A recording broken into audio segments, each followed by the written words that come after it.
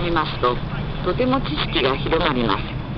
「源氏物語」の華やかな衣装や建物の名称。平家物語の武士たちのいでたちなど作品世界の背景に対する理解も深まるでしょうけれどもここで一つ注意していただきたいことがありますそれは作中人物たちが生きる日常生活は必ずしも作者が生きている日常生活そのものと同じではないということです。当たり前のことではありますがそのギャップを意識することが研究につながります。現代文学のジャンルに古い時代を舞台とする歴史小説があるように古典文学でも作者が生きている時代よりも古い時代を舞台として作品が書かれることがあります「源氏物語」の場合作者の紫式部は11世紀の初め頃の人ですがこの作品の舞台は紫式部の時代よりも100年以上古い時代です。平安京の代理は西暦794年の本の天皇に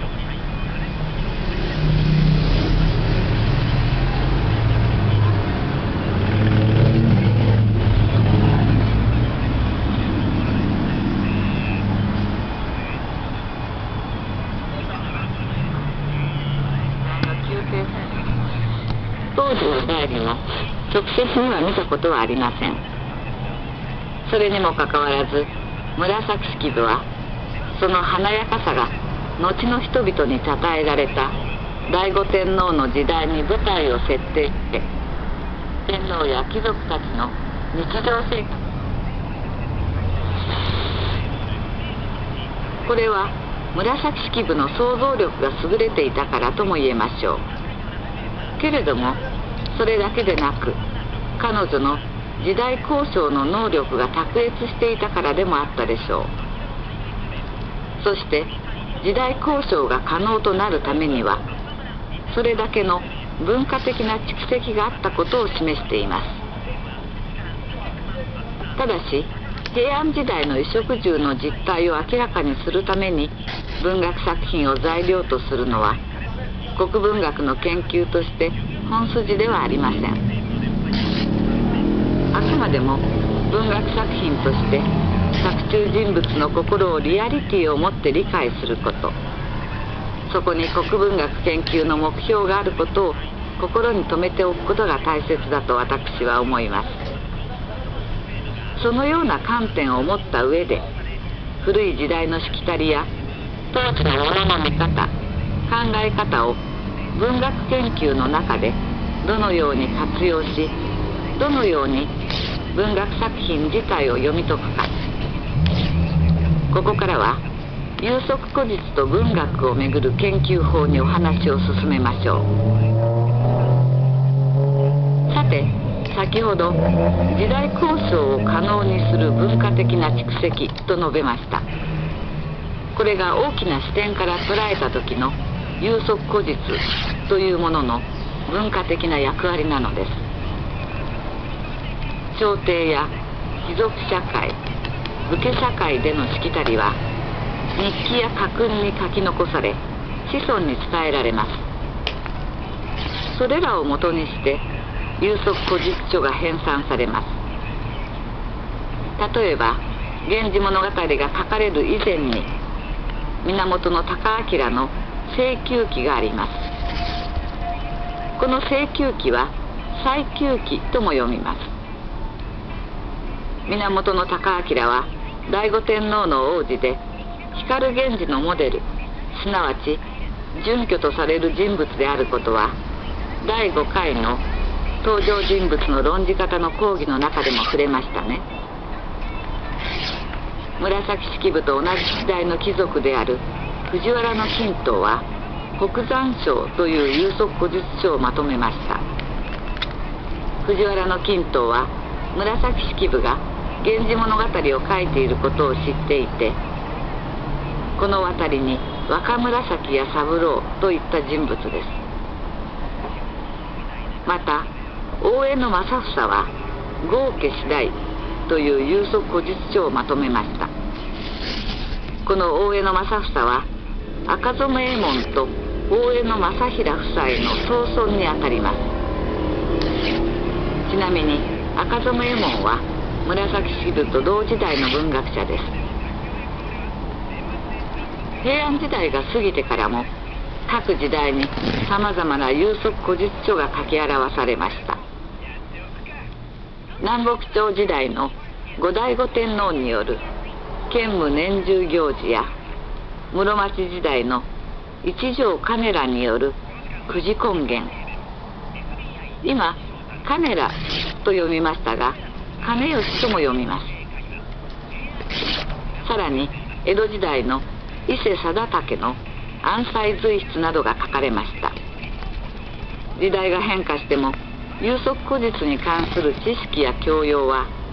近世まで重んじられ必要とされていたのですね。有足古実によく通じている教養人は古典文学の注釈書を表すことも多くその点から申しましても有足古実は注釈作業と密接に関わります。つまり古典文学を注釈する際に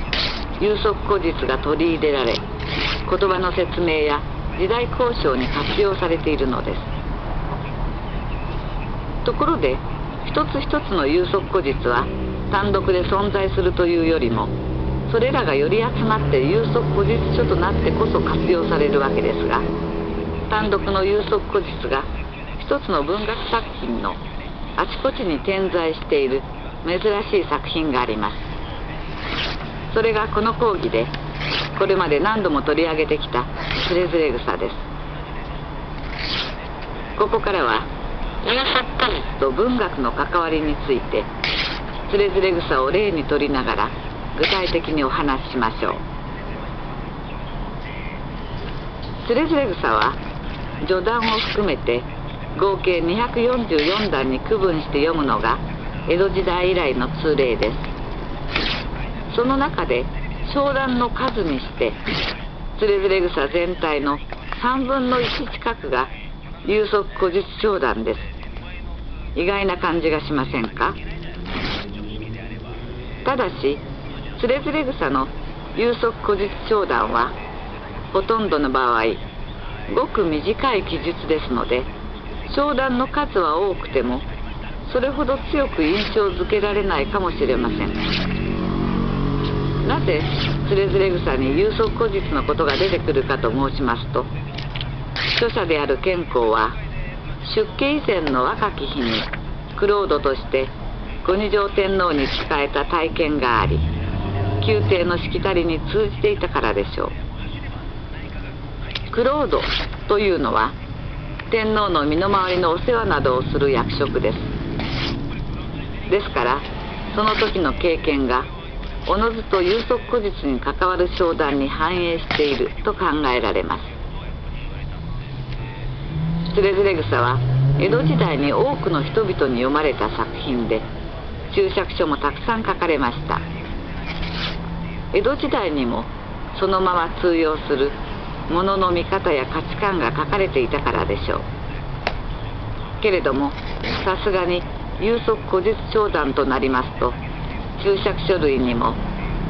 今はその沙汰なければこの段は世までもありなんなどと書かれています。今はもうこのような昔のしきたりに関する知識は必要ないという判断が下されているのです。けれども例えば現代の評論家中野浩二はすらすら読めるつれづれ